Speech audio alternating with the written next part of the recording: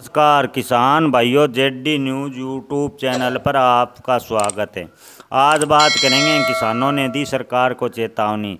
दो सौ रुपये प्रति किलो तक खरीदना होगा प्याज। जानने के लिए वीडियो को अंत तक देखें। अगर आप चैनल पर नए हैं तो चैनल को सब्सक्राइब अवश्य कर लें, जिससे प्याज के ताज़ा मंडी भाव व तेज़ी मंदी अपडेट सबसे पहले मिल सके। इन दो दिनों प्याज के रेट इतने कम है कि प्याज को मंडी में पहुँचाने का खर्चा तक किसानों को नहीं मिल पा रहा।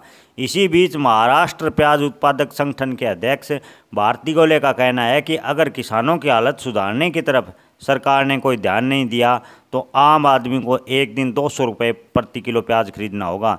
दिगोले ने कहा कि पाँच साल पहले भी किसान के किसान को प्याज के दाम दस रुपये से कम मिलते थे और आज भी किसान एक रुपये प्रति किलो पर प्याज बेचने में मजबूर हो रहा है। जबकि पाँच साल में फ़सल पर लागत करीब चार गुना तक बढ़ गई, नहीं बढ़े तो प्याज के रेट। किसान हर साल नुकसान उठाने को मजबूर हो रहा है। अगर इसी तरह चलता रहा तो किसान प्याज की खेती को छोड़कर दूसरी फ़सल अपना लेंगे, जो देश के लिए बेहद घातक साबित होगा। एक दिन सरकार को प्याज इंपोर्ट करना होगा, जो देश में काफ़ी महँगा होगा। दिगोले ने कहा कि किसानों के हालत सुधारने के लिए व फ़सल को लाभकारी बनाने के लिए जल्द से जल्द सरकार को कोई बड़े बड़े कदम उठाने होंगे।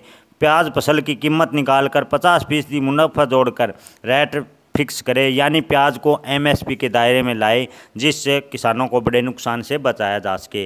दिगोले ने कहा कि जब किसान को प्याज के रेट थोड़े ठीक मिल रहे होते हैं तो सब हल्ला करने लगते हैं। लेकिन आज किसान अपनी प्याज मात्र पचास पैसे प्रति किलो पर बेचने पर मजबूर है, लेकिन इधर कहीं से कोई आवाज़ सुनाई नहीं दे रही, सब मौन है, जो कि बेहद ही चिंताजनक है। धन्यवाद।